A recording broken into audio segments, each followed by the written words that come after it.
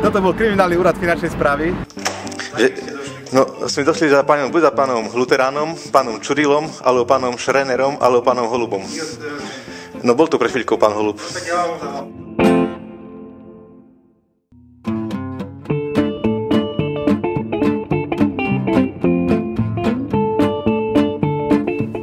No, príde na štátny úrad, kde automaticky majú vám otvárať. Prišli sme s kamerou, zase je to nejaký poplach. Neskutočné. Dokonca vysoko postavení agenti EŠTB, ako je pracujú tuto na úrade. Na úrade, kde keď príde občan, ho nepustia dovnútra. Vedú rôzne spisy za záhadných okolností.